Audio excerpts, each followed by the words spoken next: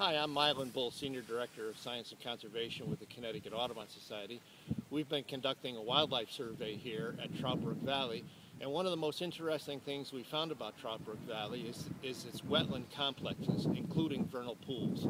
The vernal pools here are very important. They're the, the foundation of the forest ecosystem here.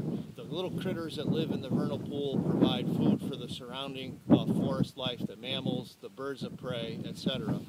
And this particular uh, thousand acre block provides the lungs of uh, Fairfield County. Not only is uh, Trout Brook Valley um, important itself, but its interconnectivity with the other larger areas provides a bigger foundation and a much larger and important ecosystem.